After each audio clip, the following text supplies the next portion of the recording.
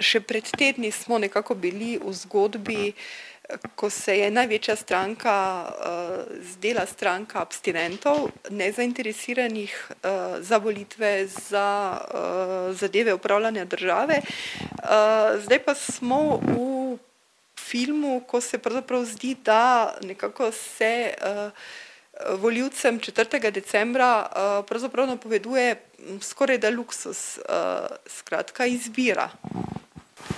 Ja, s tem se strinjam, izbira v več pogledih, ne, zdaj postaja tudi bolj zanesljiva, realna neka gospodarska, družbena, ustavna pogodba za rešitev Slovenije iz krize, postaja povsem realno, da se loči ta vrednostno-ideološki vidik od interesnega vidika parlamentarnih volitev.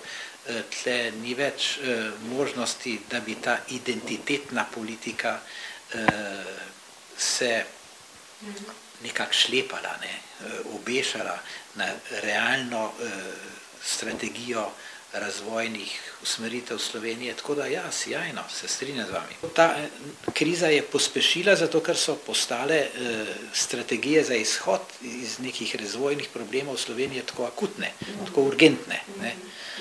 Gotovo je pa tudi prišlo do cele vrste nekih zadrževanih in neizživetih političnih energij, ki so se tudi v tem času sprostile. No, če vas zdaj še malo zabavam, ampak zabavna misel pa je, ne, da ima Slovenija pravzaprav neke dvajsetletne cikluse. Spomnite se ciklus Kavčičeve tako zvane liberalne, liberalistične vlade iz let sedeminšestdeset do dvainsedemdeset, pet let.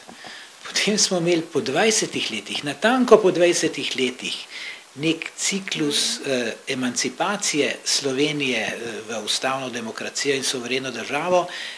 Ta ciklus se je začel tudi leta, natančno dvajset let kasneje, sedeminosemdesetega in trajal do do enaindevetdeset, dvaindevetdeset in zdaj imamo ne, metaforično rečeno, spet po dvajsetih letih, po moje spet neki tak ciklus temeljitih sprememb družbe, gospodarstva in in morebiti tudi ustave, ki se mora izteči v neko novo pogodbo za Slovenijo.